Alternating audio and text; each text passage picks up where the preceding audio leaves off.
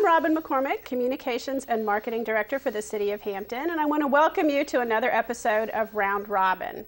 Today we're going to be talking about educational opportunities in the city, but these are slightly different educational opportunities. These are classes and workshops that you can take in Hampton to learn more about the city and how it works, to better interact with the city and figure out what services you can use. And also, some of the courses are designed to just really enhance your personal interests, make you a better parent, or make you better at some of the things you do. So we call this program Hampton and You.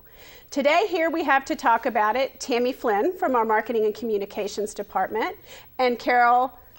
Carol, say your name for me. Perinzin. Perinzin. Mm-hmm. And Carol is actually our star graduate. Carol, tell me the academies that you've been through at the City of Hampton. Okay, I started with the Diversity College, and I took the um, just the diversity course that you have to take. And then I took the generations that talks about the different generations. And generations is an advanced diversity course. Right. right? And okay. then I took the religion Oh, and that so was three, very interesting. Yes. Three of the diversity classes. You know, a lot of people think that's just race relations. It's not. What, what did you learn in, in those three levels of diversity training? Uh, we learned about the different groups of people and how they interact in like the business world and the regular world.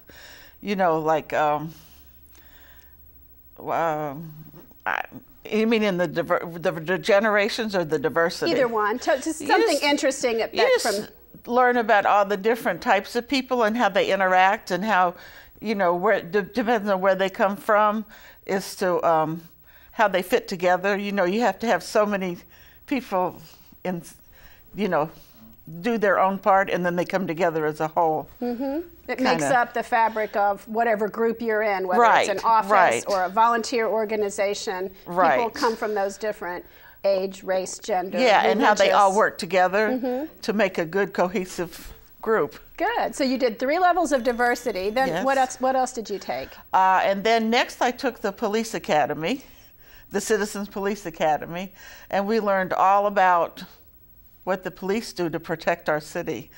You know, all the different aspects, and it was really I got I had respect for them, but I have extreme respect for our police department and what they go through because I don't think we really realize. We just know they're out there trying to catch the bad guy, but they do a lot of good for the community too. So you also learned some of the proactive things that they do. Yes, and, that's why I wanted to take these to learn how my city works and what mm-hmm. exactly they do. Mm-hmm. But the police department just they're awesome. That's great. What else did you take? Uh, then I took, um, I think the next one I took was the Court Academy, and that I learned all about the different courts and how they, you know, how they run and how they function. And we did a mock trial, and that was wow. a lot of fun. And uh, you know, just learned how that whole system works. Mm-hmm. And that's interesting because a lot of times, I mean, you sort of hope that you don't see the inside of a courtroom. Right. And so most of us have a very disconnected, I mean, back when I was a reporter, I covered courts, so uh-huh. I spent a fair amount of time in there, but most people really don't understand how they work or, or no. what goes on. No, you no you don't. And you know, you just think you see the TV version. Right. And that's not really not what the court system is. And you know, and they explain the different courts and what happens in each one. And, mm-hmm. you know, you just think you're going to get a jury trial, and sometimes you really want the, the judge to make the call for you. You know, you, you right. learn the different options, and, right. you know, and it, that was just really really interesting. Mm-hmm. You got to go to the jail too, right? Oh yeah, that was that was a scary thing for me when they closed the door. Yeah, we did go down to the um, minimum security jail, and they took us through and showed us everything down there you know. See, that's pretty cool. You get to really see a different side. I mean, you hope you're never in the jail. Most of us hope that. Right. But you get to see it and understand just a tiny bit about what goes on there. I know. And and the court went too. They sh- took us in the holding cell where they put the prisoners and, you know, they actually shut the doors on us and you wow. know, you get kind of scared. Mm-hmm, mm-hmm. like I never want to be there. But yeah, that was very interesting to see. And then they took us to Newport News to the farm, they call it. Right. And showed us that area and explained that, you know, that they have the prisoners go out and do the work in the city to help, you know, let them, the minimum security people. So I didn't really realize, you know, that they did go out and work and Right. and help. Right, and our sheriff's department runs a few of those similar programs. Right. in our, yeah, that's what I meant. too. We right. went. Been right. went to both of them to That's you know to compare them and. So what else have you done? Okay, um, let's see. That was the police, the citizens. Went to the Codes Academy. Okay, I- now that one sounds boring. Let me be honest. No, that was not boring. That Really? was very interesting. It's a lot of, um, you know, a lot of book work and explaining, but you never realize what goes into building a house, all the codes and all the special things that they have to do, and all the like. You just take it for granted. Like they all need. Have, there's a code that you have to have the the house number on the house, not the street, so the fire department and the police department can find them. That's that's how they work together. yeah, and it has to show up at night. You know, that's right, and that's too. one thing I, you know, and just all the different regulations and things, you know, about people's yards that have got junk in them, and you know, these are there's all codes to take care of them. You don't realize Oh, all the rules and do, regulations. Is it interesting? I mean, do you now like do you find that you call about things that you see in the city because you know they're code violations, or you just want to understand wanted to understand more? I wanted to understand how, yeah, the, how everything fits together, and you know, I mean, I don't really have a reason to call for those because I don't own a home. But somebody that did, or if, like if you wanted to put a shed up, Mm-hmm, that you have to, you know, get um, permits and all this. Right, and that it's for your safety. I mean, you want to make sure that that deck is built to the proper standards, that it's not going to collapse. So there's a lot of safety and important things that Yeah. it's not just aesthetics. People think, oh, it's just you know, is your grass too high or, or whatever, and it's Oh no, not. because there's codes on, um, you know, your electricity and, you know, just Mm-hmm. everything, and you don't really realize all the background stuff that goes on because you just like, you know, move in, pay your rent, and wow. but if you go to do other things, then okay. you need to know. So what else did you take? Okay, and then I took the um, the fire academy. I was in the first fire academy, and that was so awesome. Did you get to ride the truck? yes, we did. I think that's a big attraction for it for was, people. and we got. To, I got to go up in the bucket truck. oh wow. 120 feet up in the air. I was a little scared, but Oh, it I've never done that. That would be fun. It was. You could see all the way over to mm-hmm. Norfolk to the shipyard.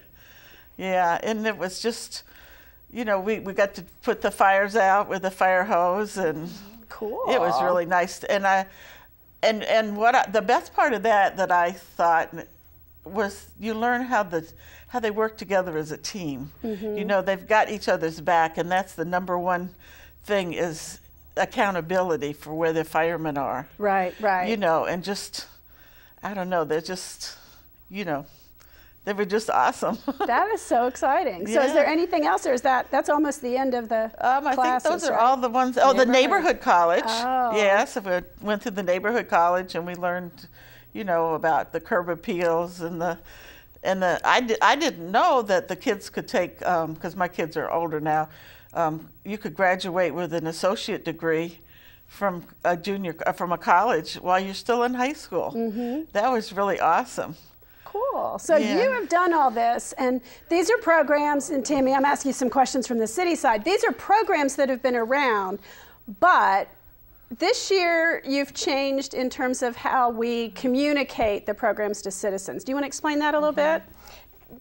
People like Carol, when you came to town, it was, or when you retired, it was probably difficult for you to zero in on one thing or to find that one thing that interests you. This way, it's a one-stop shop. They just go to hampton.gov slash learn and all of the programs are there. And you picked the learn because I know one of the things that came up in the community plan is citizens came Right. forward about w- ways to make Hampton the most livable city in Virginia or maybe beyond Virginia. But but lifelong learning and educational opportunities came up with the citizens as a huge focus mm-hmm. and really the city's been doing some of it. I just I just don't know if we've been telling people in this really um, all put together way. Right, because what each department was doing, it first started with the neighborhood college. That was the first one. It was actually the first one in the country. And it was so popular that each department started to do it. And so you had all these different departments using many resources, many of the same people. So, for example, the city manager would come to each one of these and, and sometimes say some pretty similar things. Right. Or you'd have other people that would be repeat guests. Yeah, so we got all of those folks together, every person that coordinates the curriculum. And the Codes Academy, I know you'll be very sad. I know that's going away. Yeah, well, and it's not going away. it- It's, it's just restructured. It's Right. such. It was eight classes.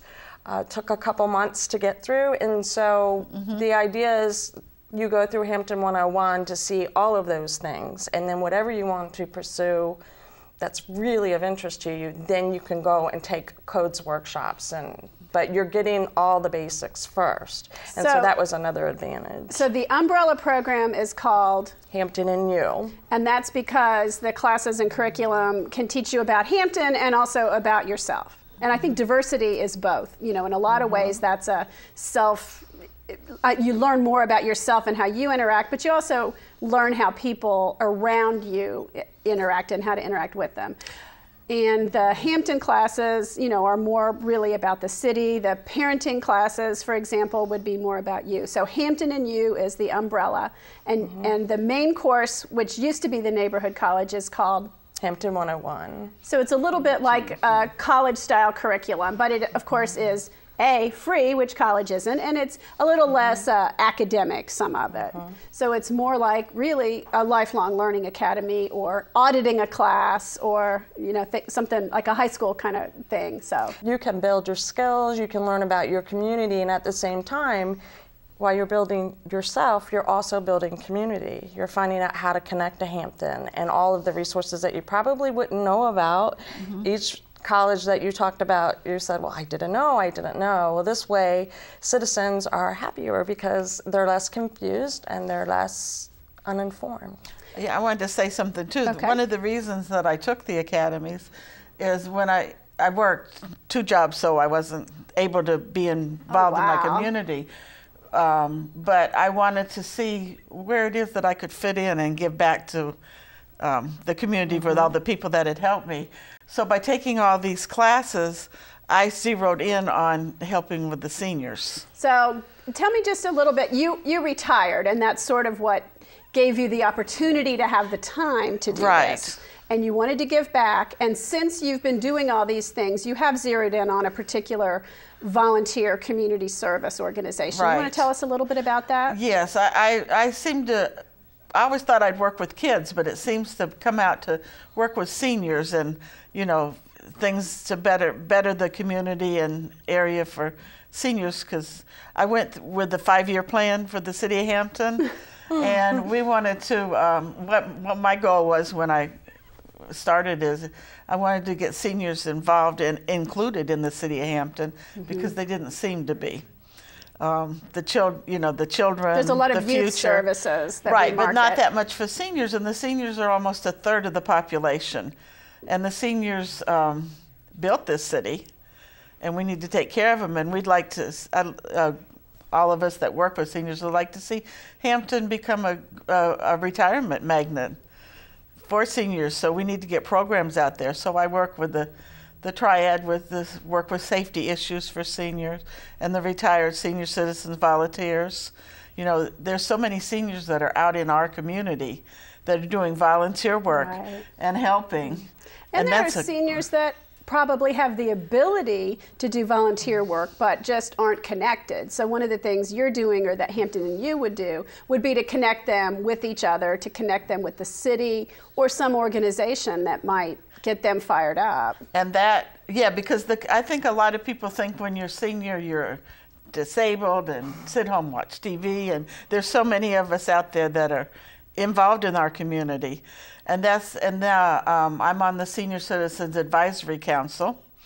And that's one of the things that we're working on this year. We're coming out with a newsletter um, starting in April to seniors to let them know activities in the area, resources where they can find, you know, classes to go to, if they need help with something, you know, anything to help the seniors. Mm-hmm. And we'd like to get computers put in the senior center so that the seniors have that capability to go and look for resources. Well, and I the think, community. you know, one of the things the city maybe could do better is to market and communicate the senior resources because we do a pretty good job with youth, but a lot of the things Mm-hmm. that are available for seniors are really also available for the general population, and we just may not be getting that information Right, to people in a really effective way. So Right. thank you for that, Yeah, that that's idea. why we were trying to get that newsletter. Mhm, And I appreciate all that you do on behalf of the city and on behalf of the groups you work with. Is there anything either of you wants to add before we wrap up? We do have the next Fire Academy coming up in April, and so you can register for that now online.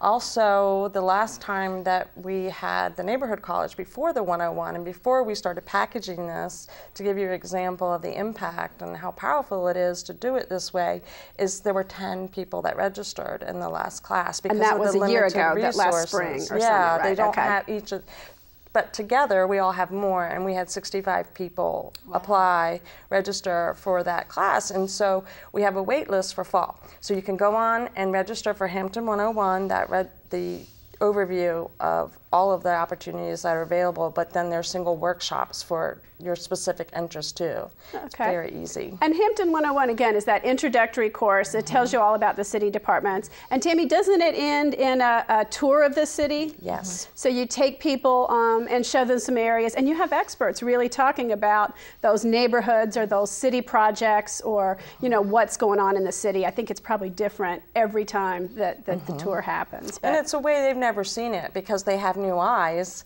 They know what's going on behind the scenes, and so we can actually show them this is what we were talking about, but also mm-hmm. history and mm-hmm. fun things to do that you can't really cover in the class. So, well, that's great. And again, that web address is. hampton.gov/learn. Or people without web access can also call 311 mm-hmm. and find out what is being what we're registering for now and mm-hmm. what's upcoming or, or to get more information. Exactly, and there's also all the recreational opportunities and the public library opportunities there as well. That's right. All part of lifelong learning. Okay, well, we'll have uh, discussions about those on future episodes of Round Robin. But I want to thank you, Tammy and Carol, for coming by today and sharing this information with our audience. And I want to thank you for tuning in to Round Robin. And I hope you'll come back for the next episode. Thank you.